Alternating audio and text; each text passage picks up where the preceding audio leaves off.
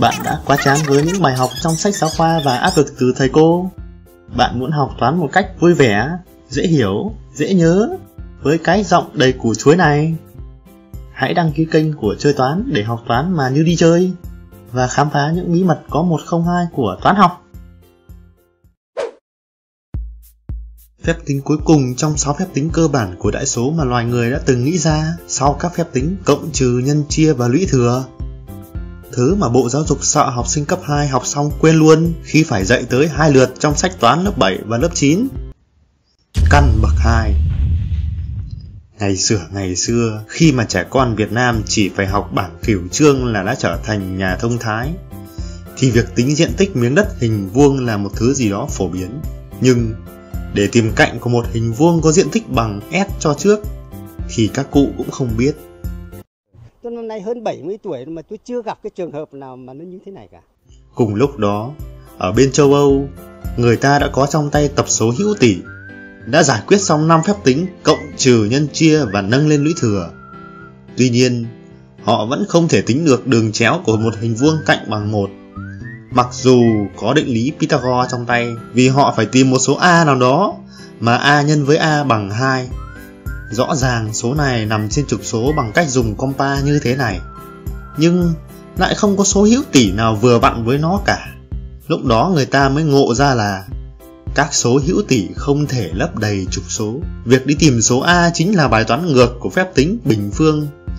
Vì thế nó được gọi là căn, cái gốc cây trong tiếng Hán Việt và root, cái rễ trong tiếng Anh. Người ta gọi A là một số vô tỷ hay nói khác đi, nó không thể bằng bất cứ tỷ số nào giữa hai số nguyên. Vì thế, họ phải nghĩ ra một ký hiệu để ghi lại phép tính này. Và cái ký hiệu này ra đời. Ban đầu nó không có dấu gạch ngang ở trên đầu và trông nó gần giống chữ R là chữ cái đầu của chữ radix trong tiếng Latin nghĩa là gốc.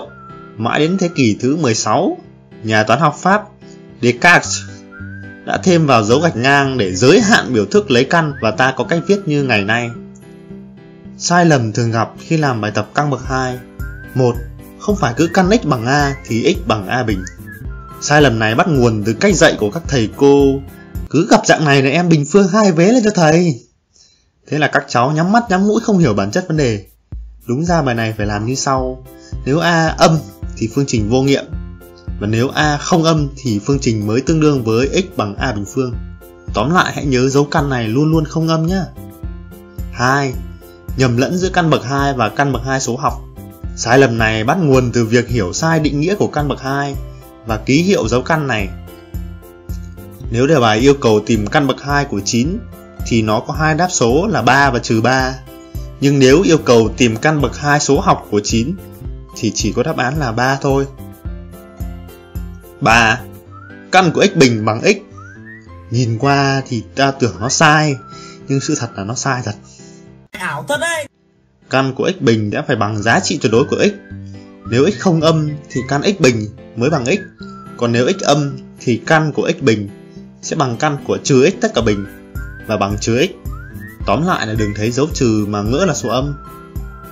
4. Căn A nhân căn B bằng căn AB nhưng điều ngược lại thì không phải. Ơ, ừ, lạ nhỉ? Tại sao chứ? Khi tính căn A nhân căn B thì mặc định các bạn đã có trong tay là A và B không âm và phép tính sẽ đúng. Nhưng nếu ta có căn AB trong tay thì sao? A và B có thể rơi vào các trường hợp sau.